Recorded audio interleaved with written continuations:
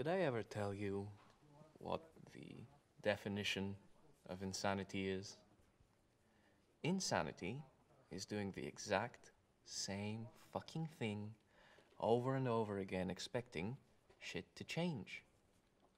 That is crazy.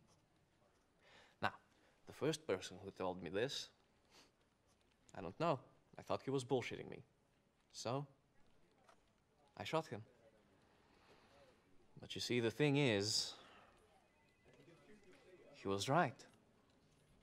And from there on, everywhere I looked, everywhere I looked, I saw these fucking pricks everywhere I looked doing the exact same fucking thing over and over and over and over again, telling themselves, this time it's going to be different. No, no, no, no, please. This time it's going to be different. I'm sorry. I don't like the way you're looking at me. Do you have a fucking problem with your head? Do you think I'm bullshitting you? Do you think I'm lying to you? Fuck you, okay? Fuck you! It's okay. I'm going to chill, man. I'm going to chill. But you see, the thing is, I already killed you once. And it's not like I am fucking crazy. It's okay. It's okay. It's like water under the bridge.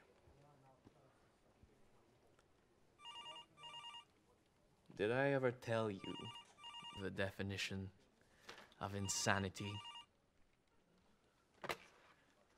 Cooper and Brennan